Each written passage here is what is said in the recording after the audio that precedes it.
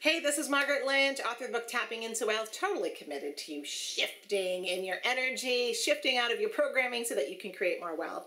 And I'm also the creator of the Tapping into Wealth Coach Training Program. And so this is a great video for you or for you if you're a coach working with clients because it's really a great challenge around some of your habits. Now, if I asked you right now, when you think about all the changes that you want to make, or maybe it's a business you're growing or some other change, you could tell me that there's certain things that you know you should be doing and you're not doing on a consistent basis. And so what I want to suggest to you is to just take a breath, let yourself off the hook a little bit and realize you're just in the habit of not doing them. Now, this is a concept that I love. I, I remember reading it years ago um, from the T. Harv Eker book, which I love, called Secrets of the Millionaire Mind. And it's the idea of being in the habit of not doing certain things that I know I should do.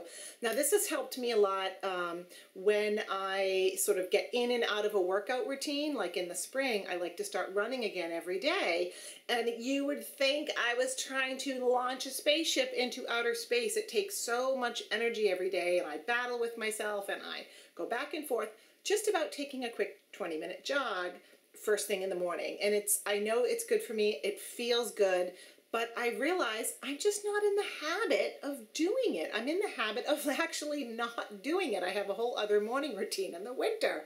So I'm a little bit easier on myself that sometimes it's going to take time for me to get out of the habit of not doing it and reestablish a new habit. So I want you to take a minute right now and write down two key things that you know you should be doing and you're not doing. And maybe you've already been kind of hard on yourself about these things. And I want you to just look at them and own and honor, almost like a positive affirmation. I am in the habit of not doing these things.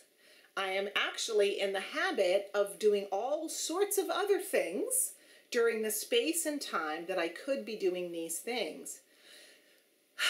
And just breathe on that. It's okay. And habits can be changed when we are aware of them. That's why consciousness is always the first step.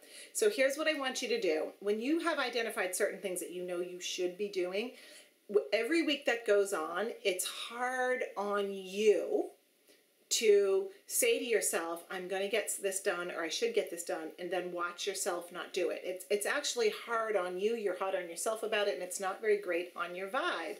What we want to do is start building up experiences where you say, wow, when I set my mind to something, I really go after it. So in this moment, I want you to take at least one of those things and go to your calendar and actually calendar a couple of two hour blocks over the next week where you are going to work on that thing. It's really important to drag the time out, create a little block on your calendar, and in there write, do this. I do that all the time because I like to get a lot of video done, but I can do a million other things like reading and deleting emails, my favorite pastime, um, instead of getting it done. So I calendar it and I say during this time, I'm going to prepare or I'm going to come up with topic ideas and then on the next block of time I'm going to actually film the videos.